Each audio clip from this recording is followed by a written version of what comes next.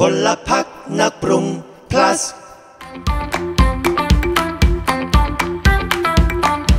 คนเปิดเตาอบนะครับ 180 องศา โดยใช้โปรแกรมพัดลมนะฮะ แล้วก็เตรียมถาดอบรองกระดาษไข หรือว่าแผ่นซิลิโคนไว้นะครับ แล้วแต่ที่เรามีเลย อย่างที่บอกไปนะครับว่าคุกกี้สูตรเนี้ย จะเป็นรสชาติของช็อกโกแลตเข้มข้นจากผงโกโก้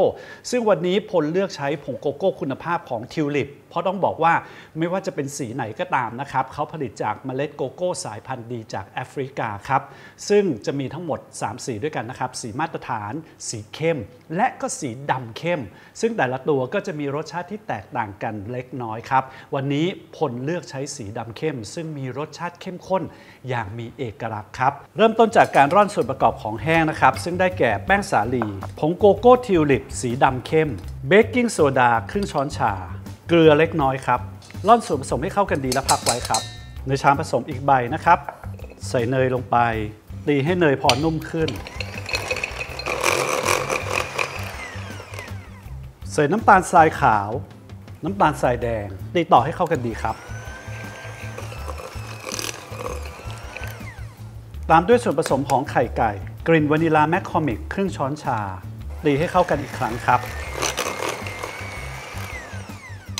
ใส่ส่วนผสมของแห้งที่เราพักไว้ลงไปครับตีด้วยความเร็วต่ำให้เข้ากัน ปาดส่วนผสมนะครับให้เข้ากันดีนะฮะ ตัวคุกกี้ dough ของเราเสร็จแล้วนะครับ แต่เราจะเพิ่มรสชาติและก็เนื้อสัมผัสของช็อกโกแลตในอีกรูปแบบที่แตกต่างเข้าไป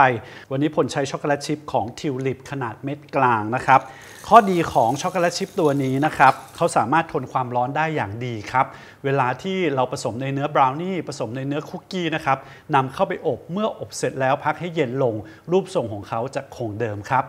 คนช็อกโกแลตชิพให้กระจายทั่วดีนะครับ หลังจากนั้นนะครับ เตรียมถาดอบครับผมรองด้วยแผ่นรองอบนะครับ ใช้ที่ตักคุกกี้ขนาดประมาณ 2 ช้อนโต๊ะ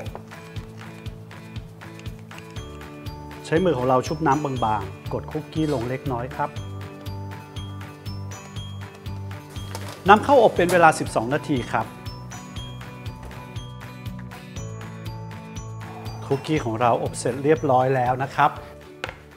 เวลาที่เพิ่งออกจากเตาอบนะครับแนะนำให้เพื่อนๆ พักบนถาดอบก่อนนะครับเป็นเวลาสัก 3-5 นาที หลังจากนั้นพออุ่นๆหน่อย ค่อยย้ายมาพักบนตะแกรงให้เย็นสนิทครับหลังจากนั้นนะครับเราจะเพิ่มอีก1 layer ของช็อกโกแลตนะครับโดยการที่พลจะใช้ dark chocolate compound ของทิวลิปตัวนี้นะครับก้อนเนี่ยจะน้ำหนักอยู่ที่ประมาณ 1 กิโลกรัมครับ เราจะใช้มีดนะครับหั่นเขาให้เป็นชิ้นเล็ก ๆ แบบนี้ใส่ในชามที่สามารถเข้าไมโครเวฟได้นะครับพลใช้อยู่ประมาณ 80 กรัมครับ เดี๋ยวเราจะนำไปเข้าไมโครเวฟให้ละลายนะครับ และหลังจากนั้นเราจะเอาคุกกี้ของเราเนี่ยครับมา dip ลงไปมาชุบลงไปในช็อกโกแลตครับคนช็อกโกแลตของเราให้ละลายนะครับเรานำช็อกโกแลตของเราที่เย็นตัวดีแล้วนะครับ ชุบลงไปครับ ครึ่งหนึ่งก็พอนะครับ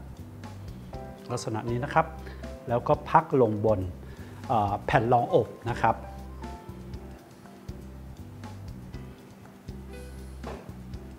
ข้อดีของดาร์กช็อกโกแลต compound ของทิวลิปนะครับเราไม่จำเป็นต้องนำไปแช่เย็นนะครับพักที่อุณหภูมิห้องแบบนี้ประมาณแค่ไม่ถึง 10 นาที ตัวช็อกโกแลตก็เซ็ตตัวแล้วครับ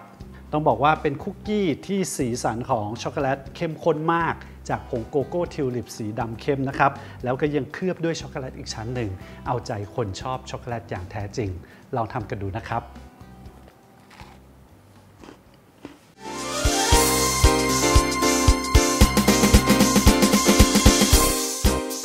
สูตรนะครับ แล้วก็สามารถรับชมคลิปทำอาหารของเราย้อนหลังได้ที่ www.polfoodmafia.com ครับ และเพื่อให้ใกล้ชิดกันมากขึ้น เพื่อนๆ สามารถสื่อสารกับเราติชมรายการได้นะครับ ผ่านทางช่องทางโซเชียลมีเดียไม่ว่าจะเป็น Facebook YouTube IG TikTok และก็ Line แอดครับ